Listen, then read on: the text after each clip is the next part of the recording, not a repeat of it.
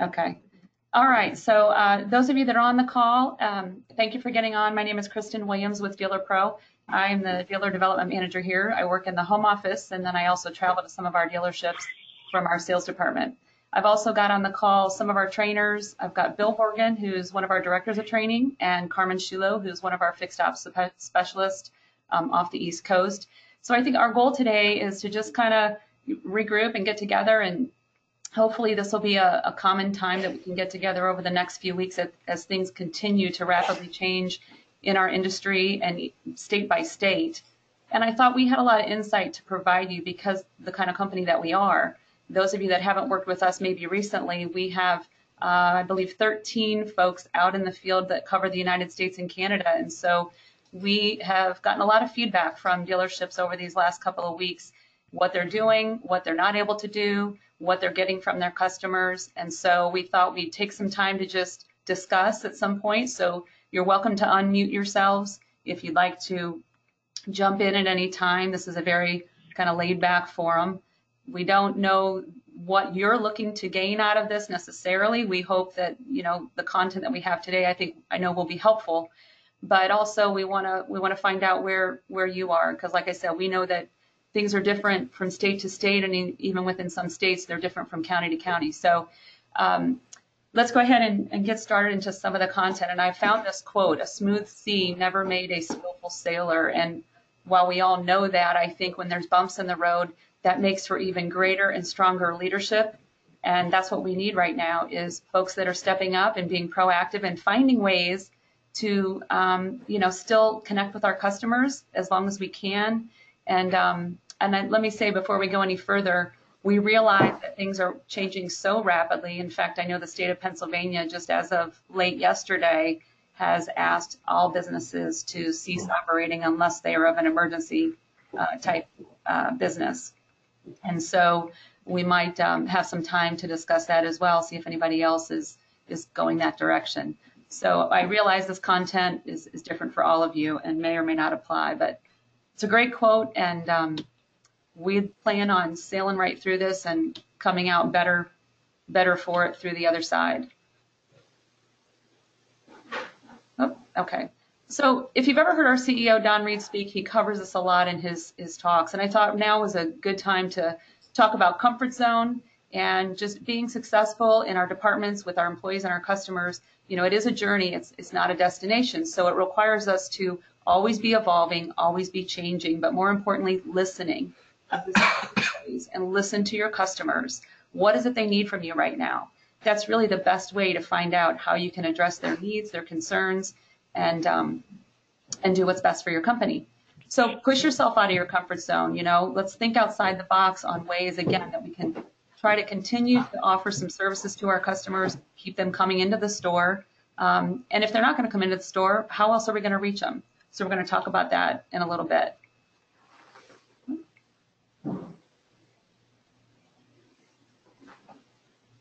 Okay, what's going on here? There we go. Okay, so um, I want to source this properly, and we're recording this, and then I'll email this out to you as well in case these are some websites you want to go to. I've got several throughout the presentation. The five C's of leading in adversity. I thought this was a really terrific um, article. Credibility, confidence, clarity, over communication, and consistency. So growing as a fixed ops leader through times like this, and really this can apply at any time, with so many unknowns right now, though, what you as a manager need to remember is you do have control over certain things, both internally and externally. Internally, you have your employees. There are certain processes. We want to stick to those. You know, some sometimes you find people when when things seem to be um, falling off around them a little bit, then they kind of don't see the value in the other processes that you were doing. And that's not true. If anything, we need to provide the stability and the consistency for your customers so that they feel secure and stable knowing that they're still getting the same level of customer service they've gotten before. So when you think about your employees as a leader, whether it's service manager, parts manager, service lane manager, you need to be the example. So on the right hand side, providing a positive, proactive outlook. I know we're at the point here, as well as I am personally, of, you know, I don't want to talk about it so much. So let's establish a new conversation in the service drive with your employees. Let's be positive. Let's talk about what it's going to look like when we bust out of this. And everyone is, you know, needing to get uh, buy those cars and get their cars serviced. We're going to be slammed at some point.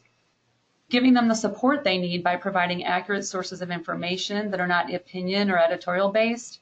Because things are changing so rapidly, everyone gets their information from different places. You want to be respectful of that. Give them information that's, you know, accurate and, and authoritatively based. In other words, from the CDC or from your state government. Instilling confidence by honestly answering their questions about the potential that this is going to have, the impact it's going to have on your business, their business, their paycheck, and the livelihood of their family. You don't have to disclose everything because we don't know, but you at least have to acknowledge it. And if you can't address it, tell them I, I can't address it right now, but you know, let, we're let's going to have a meeting. We're going to meet with the managers. We'll talk about this, you know, on Wednesday. A clear understanding of how and what they should be communicating to your customers. So you want to make sure that they are also being positive. They're a place that your customers can come and maybe not rehash uh, some of the concerns that they have that they're seeing in the news every day. We all need a break from that. So what should your advisors, what should your cashier, your warranty clerk, your receptionist, what should all those folks that are answering the phone um, say? Is there something different that you want them saying? And communicating about new procedures, policies as they change, and ensuring that your employees know where to get new information from your company as it comes out. You may not have any kind of, you know, internet or anything, intranet for your company um, if you're, you know, a small dealer, but you certainly have email and you also have a copy machine and a printer. So print out some things in writing that they can say. Maybe you maybe you can create a binder where they can go to. You know, here's now what we we have to do disinfecting wise. Here's here's what we have to start doing differently. So how to be an effective leader for your fixed ops employees? Credibility, and this is really reflective of your competency as a leader. Again, being positive and proactive, but you also have to be compassionate we don't want to just gloss over things. I mean, there's a reality to the situation. So remind your employees of the important purpose and the contribution that they have in your department, how important they are. Focus on the customer. We all do better when we have something outside of ourselves to focus on. I know I do. Um, it's my kids, you know, ensuring that your kids are safe, that they know the precautions they need to take. So give your employees something to focus on at work. And we'll talk about some other things they can do if their normal duties have kind of slowed down. Remind them that this is not forever, but it may be longer than expected. Again, some, everyone's got different levels of concern and, um, and maybe even anxiety about this. We all have stories, I'm sure, of friends, acquaintances, and family that are suffering, whether it's the job that they have, the job that they now don't have, um, a wedding got canceled, uh, elderly that they can't visit. Remind them how great they are and how thankful you are for their contribution at your dealership. Support that addresses their concern about their own health and safety and their loved ones. Again, don't editorialize or offer your own opinions. Don't offer opinion pieces that you've read about or seen on the news. Give them specific places they can go to. So over here, here are the two um, two of the CDC web pages that I personally thought were very helpful at the CDC website. There's a ton, a ton, a ton of information there. And um, one of these is particularly on family issues. There's also an area on anxiety and stress. Um, a lot of good information there. You don't have to know everything as a leader or a manager, but you do need to have an understanding of the situation. It reflects on, again, your competency and your credibility as a leader so that the next time something new comes out, you know, you need to have their trust. They need to know that you're making sound decisions on behalf of their job. and we talked about educational, authoritative, informational resources. Confidence, instilling confidence through your example as a leader. Genuine words, actions that show that issues can be resolved. It may not be the resolution we like at the moment.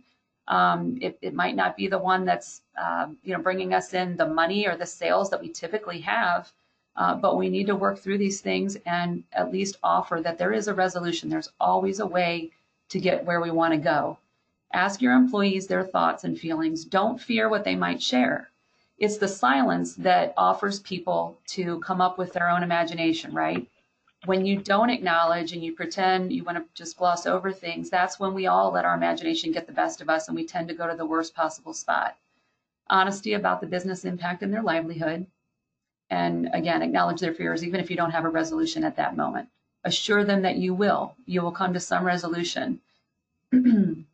Clarity. And I, as I just mentioned, when there's ambiguity or nothing, there's no communication, there's no guidance or direction, and it's allowed to fester, people start talking and they assume the worst. Oh, we're going to be laying people off. Oh, technicians aren't busy. We're sending them home early. Acknowledge these things. Right now, you possibly, many of you, want to have daily meetings with your teams, at least a daily email uh, going out to them. And I would even say a face to face brief meeting, just pumping them up, reminding them of the positives, the things that we can control and do. Uncertainty breeds cloudy thinking and a lack of focus. Refocus your employees on the job at hand and give them direction. There are still many things we have to offer your customers and remind your customers of what they you know, can gain from still maintaining their vehicles. Set specific expectations for any new responsibilities or ways of doing things. And I'll tell you, meeting the CDC guidelines is at least you have to believe that perception is reality. These are important.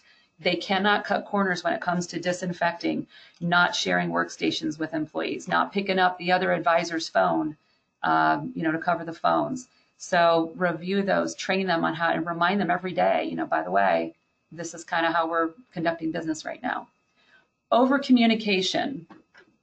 Um, I, am a communication major, and I believe you can never communicate enough and often enough. So make it early. In other words, get out in front of your industry, your dealership, your department, your town. Be the leader. Be the ones that are sharing with your community and your employees and your customers what's happening. Listen to what's happening, listen to your employees, and notice listen are the first two bullet points, and then communicate updates to your employees even if there is no update, give a no update update, just like when you're giving status updates to your customers. Sometimes you can't tell them a time, but they still want to know. It allows them to feel, again, trustworthy and secure, knowing that more information is here, and now at least my expectation is set. Make sure employees have somewhere that they can go to update, to get the updated information, which I mentioned earlier. So through emails, you can put updates on your office wall, you can put them in a break room, however you guys want to deliver that. And the last one, um, and the five C's, is consistency. So maintaining this level of communication, this level of concern and care and change and adaptability through these days, weeks, and possibly months. We just don't know. Consistency breeds confidence and security, and I would also say trust. And that goes for employees and customers. Keep company policies and processes in place that keep your team running smoothly and that give your customers the same level of service they're used to getting. We know things are changing. Everyone's well aware of that. But you know what? There's a part of us also that needs to keep on keep on trucking. Give them again the same processes that your customers are used to, the same friendly smile, uh, not the handshake, and um, but make sure your employees aren't sort of throwing out you know the baby with the bathwater creating a proactive strategy that will build future stability and promote CSI. So right now, there's just no magic wand to make sure that you know we don't see a dip in our service traffic or our service sales, that we don't see a dip in showroom sales. I mean, it is uh, there, and I, I don't want to sound naive, but I don't also want to be completely negative here. So there are some things from a marketing standpoint that you can continue to do to stay front and center of your customers and um, and help them. You know, this is Dealer Pros uh, effort. We want to still talk to our customers. We want to still know what they're doing, how we can help, and that we're here to help in any way that we can, and we'll adapt as well. Maybe we'll start offering, um, you know, free online training to advisors while uh, they've got maybe a little bit of downtime. So come up with ways that you can stay front and center with your customers.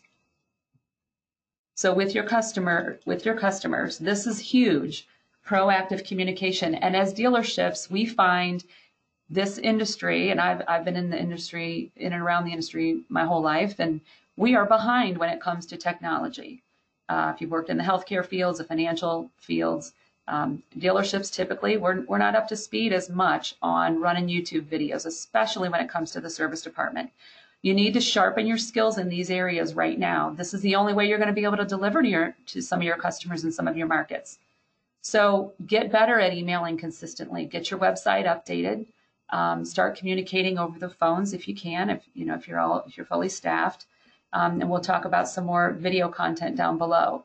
So number one, do your customers even know you're open for business? I don't know. You may have already tackled this one, so great job. but I know I personally got an email from my automobile dealer here in Columbus, Ohio.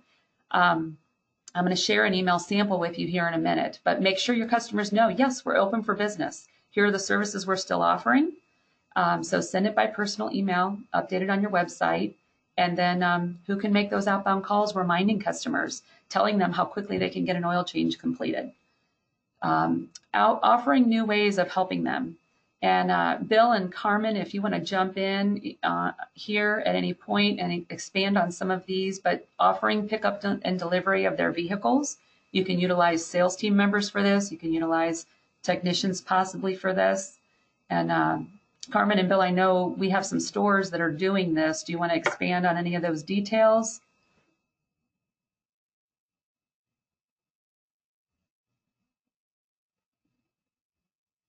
Uh, excuse me. Uh, it's Carmen. Um, I know that uh, some stores are using uh, hourly technicians to pick up and deliver customer vehicles. Um, in the event that you're doing that, you obviously still want to track those hourly technicians, make them keep a log of what they're doing.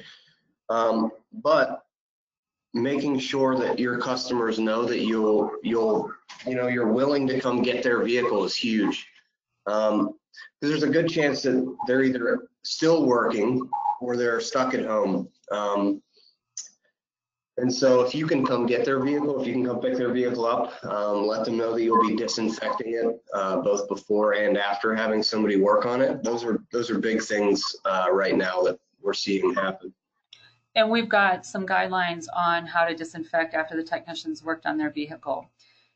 Some other ways you can become their source for CDC and state updates on your website, regular emails to your customers, letting them know, especially if you're a dealership that is big in your community, if people, you know, come to your store for events, um, you do a lot of community outreach with charities and things like that.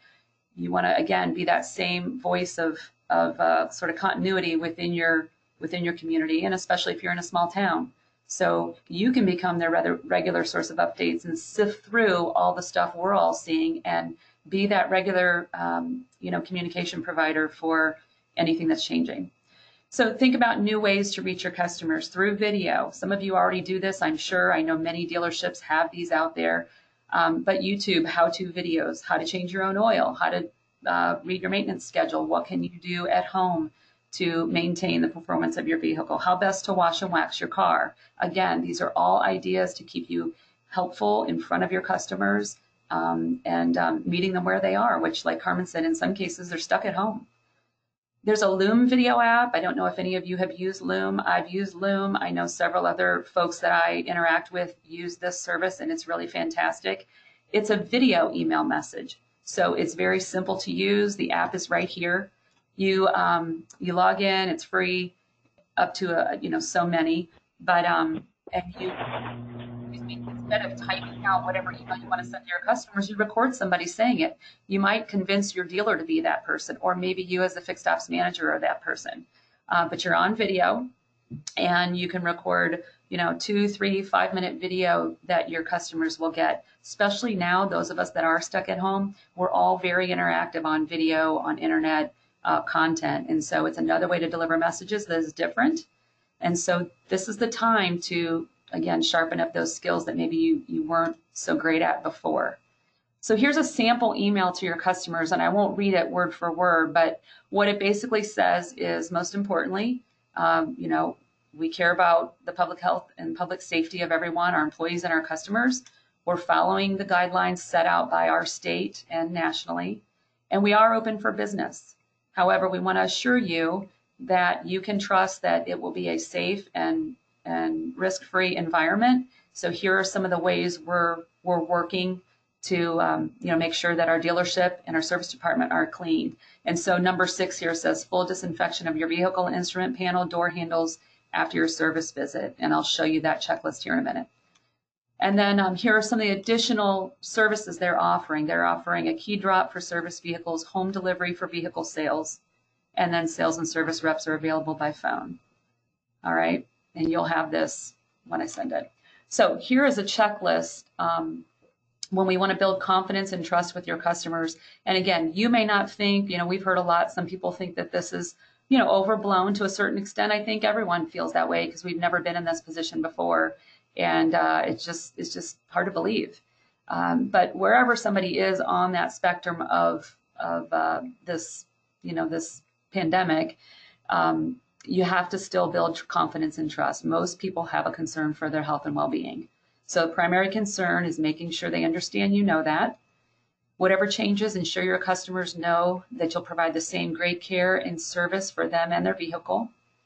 And remind them what you're doing to follow the CDC guidelines. So we know in our state it changed. Now we you need to remind people that you're taking employee temperatures, you're disinfecting workstations, dealership door handles, and I would be specific about these things.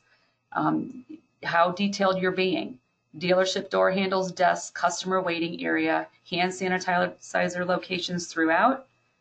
In the service department, you can require your technicians to wear gloves. I do know in some stores these have to be certain types of gloves so they don't disintegrate with some of the uh, oils and products that they're working with. So um, I don't know if anybody's got any insight that they want to share. And then disinfecting of the customer vehicle before delivering it back to them. So here is a checklist of what you need to train your folks on. You can have a greeter, a porter, or a tech doing this. Exterior and interior door handles, the gear shift, the instrument panel, including all radio buttons, um, the hood and rear door release and latch. So in other words, the the buttons inside the vehicle, but then also uh, go back and and uh, you know wipe the hood and wipe the rear the rear uh, entry if hands have been on it, and making sure that everyone's trained to do that every time. This is a, a good source right here, guidance on preparing workplaces, um, and it's at osha.gov, and um, you might find that to be helpful as well. All right, so uh, lastly, with regard to your customers, so community, and I touched on this earlier, if you already have a prominent place in your own community, continue to be that, that company. Provide messaging as a public service, provide webinars. Maybe you do some customer outreach, maybe you do something like we're doing and you know, walk them through what are some things they can be doing at home to maintain their vehicles. Why is it important for them to get their vehicle in and get it serviced to avoid costly mechanical repairs later on? And then giving CDC updates. So, what should you be focusing on right now as things are changing? Um, maybe as customers are continuing to come in, or maybe they're not coming in as much. Staying focused on fixed ops in the service lane with your advisors. Continue to maintain effective walkarounds and menu presentations. Now it's even more important to establish a rapport and build trust with your customers and everybody i think there's a sense of camaraderie a little bit of commiseration maybe um, as long as you know it's within reason but you want to touch base with your customers. And um, you know everybody's being affected in different ways. Remind your customers of the importance of maintaining peak performance of their vehicle. We don't know how long we're in this for. Uh, even more important to keep things operating smoothly you know everything at your house your car um, so that you can get going on that vacation that you might have postponed uh, later because you know what? The schedule is going to be jammed up in Ju- June, July, August potentially. And so, uh, you know, Mr. Customer, we'd really like to get your vehicle in, you know, peak performance right now, uh, if we can. Cost savings of maintenance versus costly repairs. Train on word tracks that address the new steps that you're taking. I think you do want to include this as a value added service to your customers when you're setting appointments, and when they're coming in the service drive, remind them again of all the steps you're taking each day to disinfect and to make them uh, keep them safe and healthy. Outbound phone calls. If you've got advisors that aren't as busy, this is a great area to try to generate some additional business. Call those recall customers. I know I, for one, put this off. Oh, I'll get to the recall later.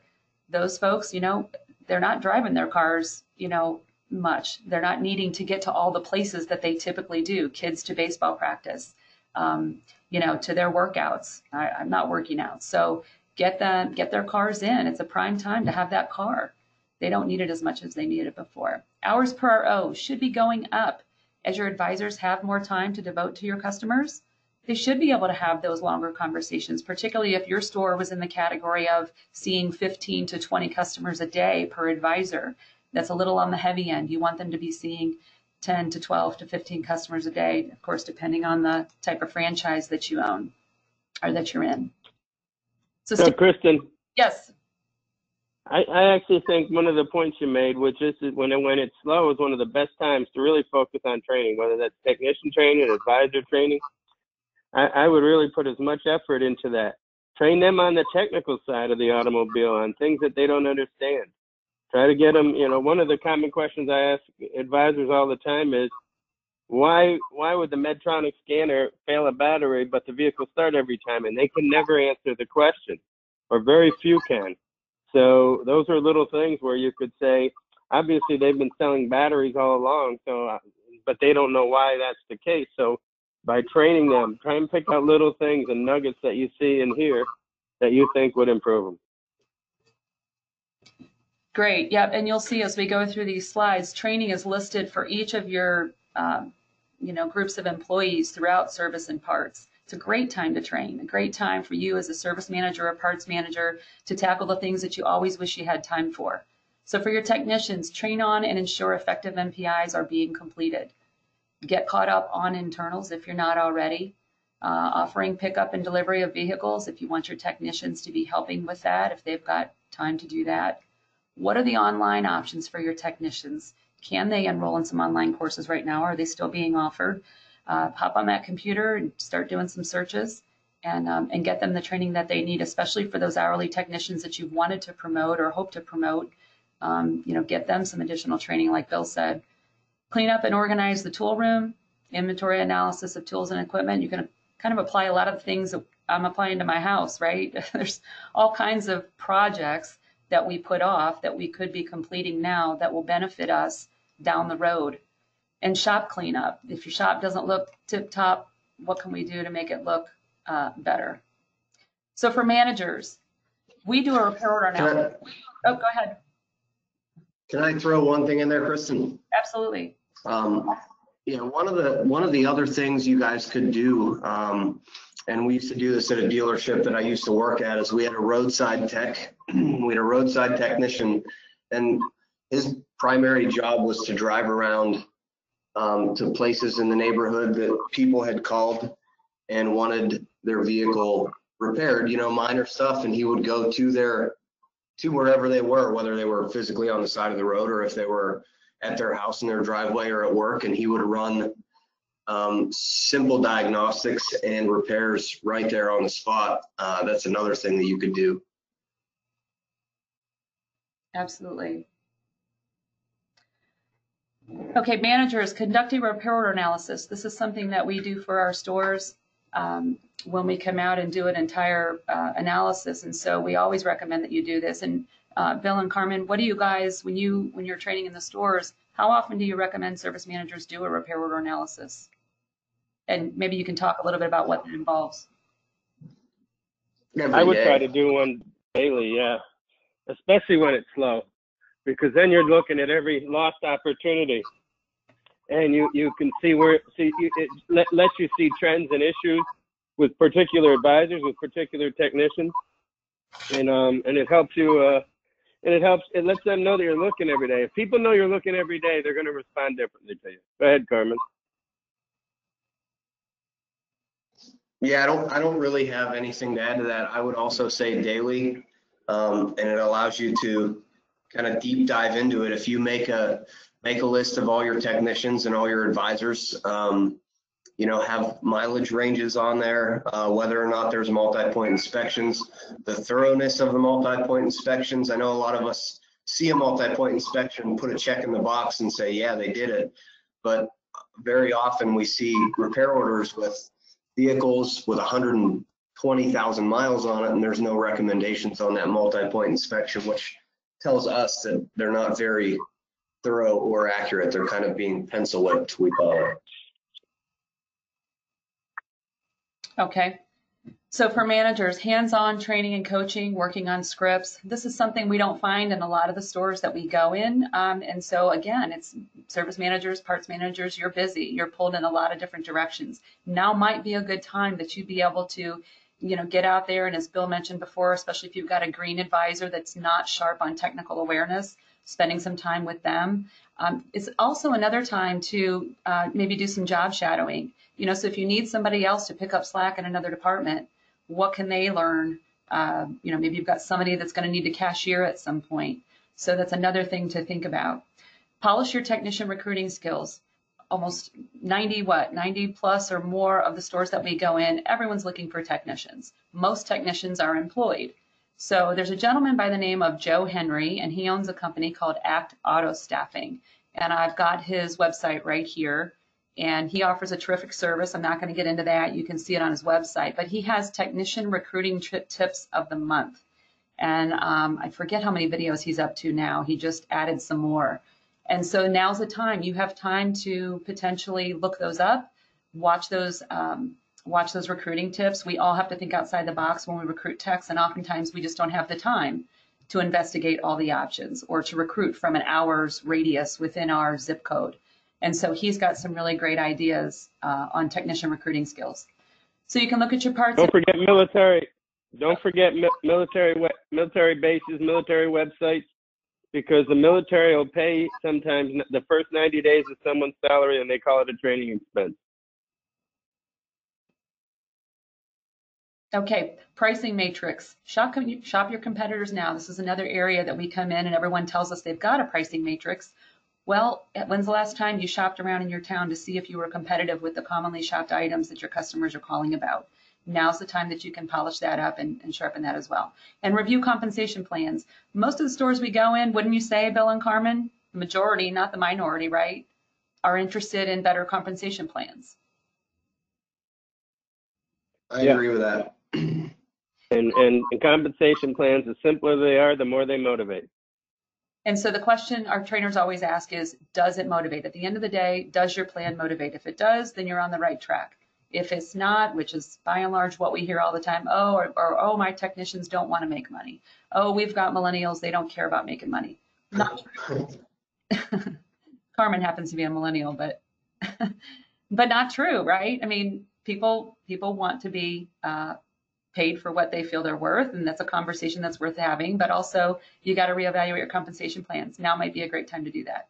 So overall, something else that you can do in your department to kind of take an inventory of everybody, and um, exclusive of you know fixing the change that's happening, you can ask if there was one thing that would make your job more productive, and enjoyable, what would it be? Take an inventory of the health of your entire department. What do my advisors need? What do my technicians need? What does my parts department need? Um, you know, what am I cashier, warranty clerk? It's a good time to do all those things. So um, we've got till 3:45. I want to keep us on time, and my clock shows 3:34.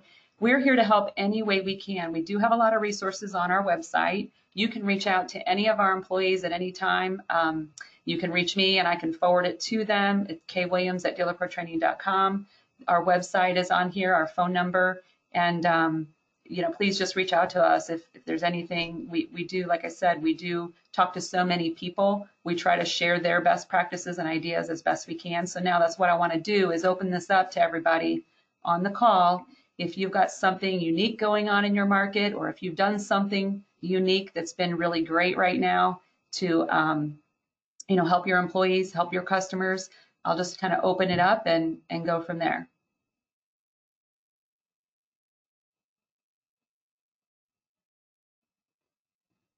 And I know we've got some of our other trainers on the call too. So if any of you have learned of recently some things that your dealers are are doing or going through, um, by all means, hop on and and share.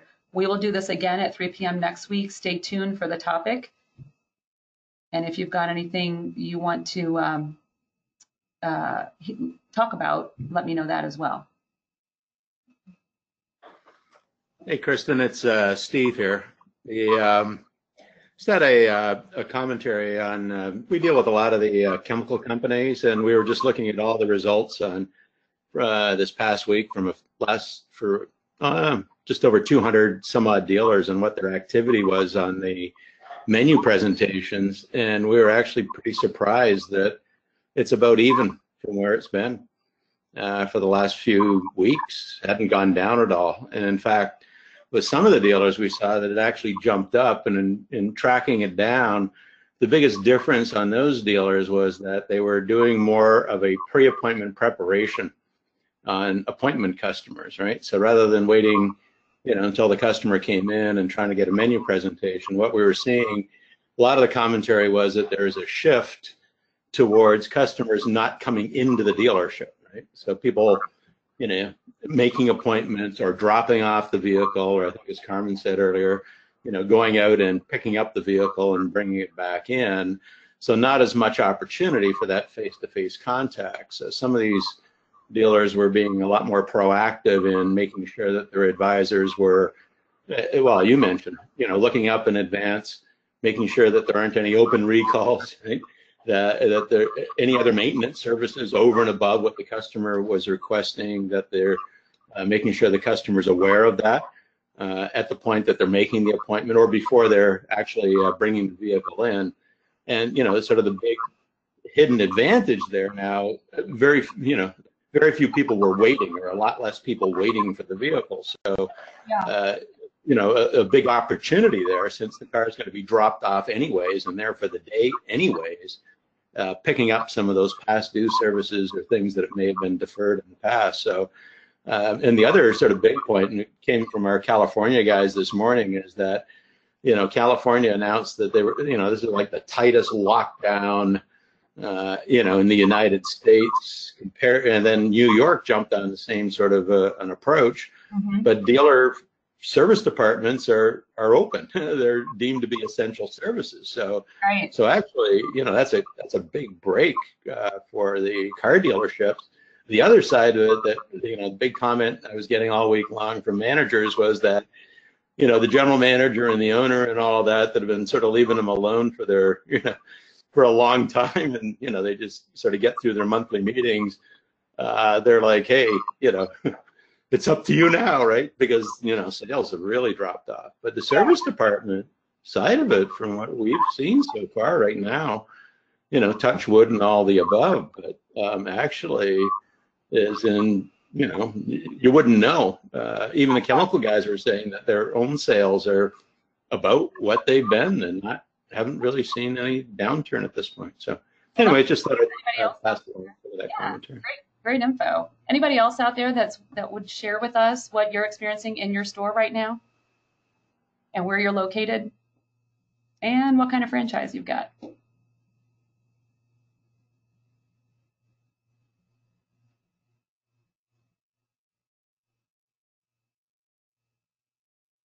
No takers.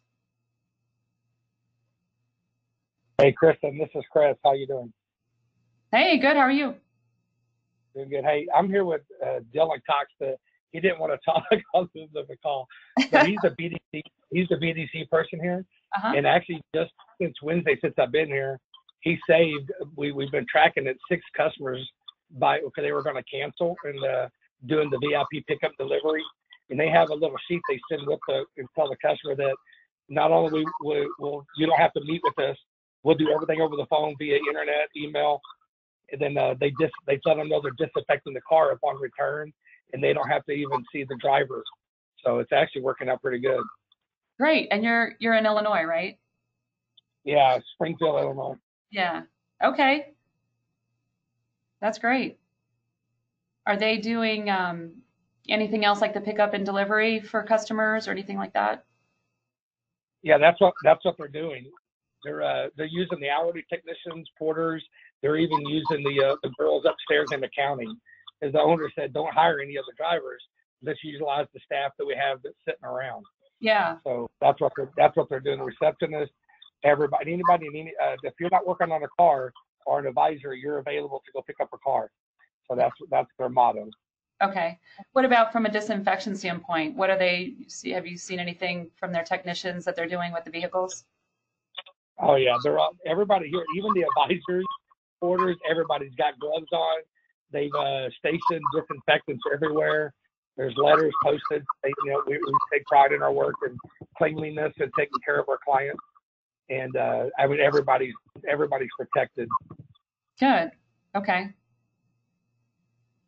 It's working out really good here. I mean, they have slowed down some, but they're mainly uh, it, it's they they dropped a little. They're about to have a record-breaking month. It's still pacing pretty decent, but uh, they, I told them they just got to stay on on it and keep the outbound phone calls going and pick it up and delivering in order to maintain, especially up here in Illinois. The governor here is looking at a uh, a lockdown like California, so we got to make sure that they're getting their cars in and out of here. Yeah, okay. I don't know if anybody wants to talk about the parts. Um, if you read Automotive News this week, talking about the parts shortages that will also possibly affect customer service, um, you know, coming up and uh, how that's going to impact getting vehicles back to the customers in a timely fashion. Bill or Carmen, you have any insight on that that you want to share?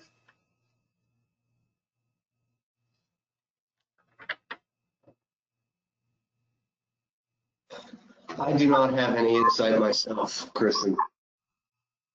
Okay.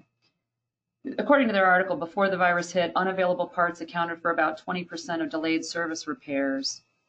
Um, and, uh, you know, based on franchise, they've got all the rankings in here of kind of where people stood with CSI. I didn't know if we had any parts managers on the call. I know there were a couple that were registered.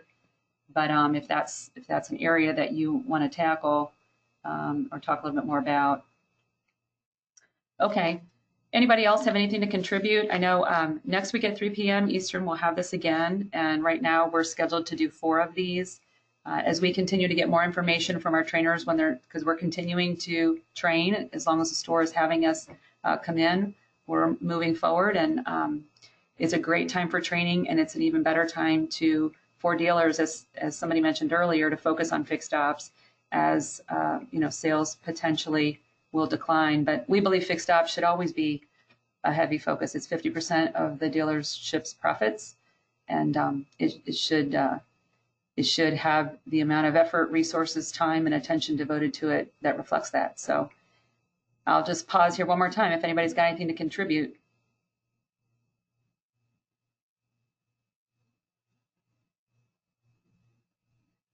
Okay, well, we thank you for joining us. Um, we hope you um, join us next week at 3 o'clock. Look for an email. Please check your spam folder if you don't see it.